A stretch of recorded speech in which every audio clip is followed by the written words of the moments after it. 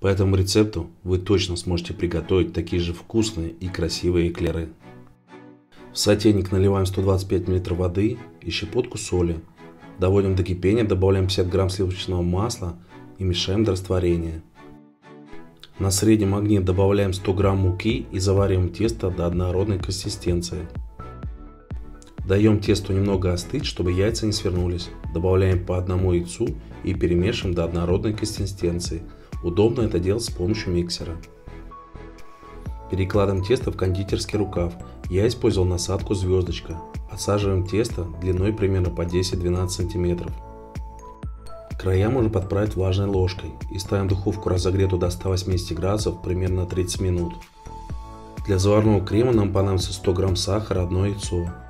Половину сахара взбиваем с яйцом, далее добавляем 20 грамм муки и взбиваем до однородной консистенции. В сотейнике смешиваем 250 мл молока и оставшийся сахар. Доводим до кипения, убавляем огонь до среднего и интенсивно помешивая вводим яичную массу и увариваем до сгустения. Снимаем с огня, добавляем 25 грамм сливочного масла.